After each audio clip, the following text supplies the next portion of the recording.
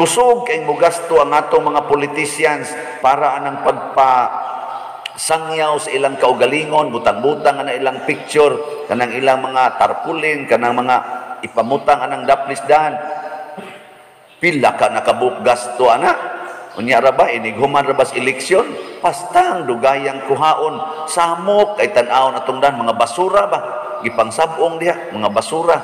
Ila pa nang hipos lang, unya ipalit nila slat. Purot na ning atong slato eh. Pila kay kwintala na bisag din nila lokal lang nato.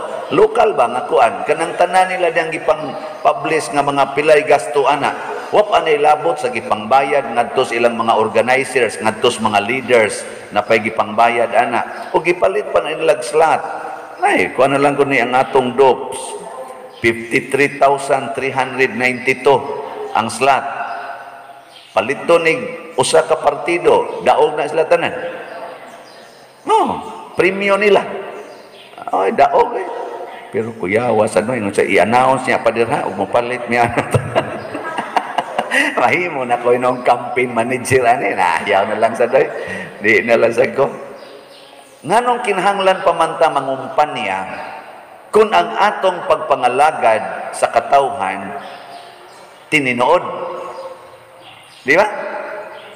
Butaran ko ni mo sa dili, mudaog kog sa dili, magsige ra man kog alagad. Unsa may diferensya?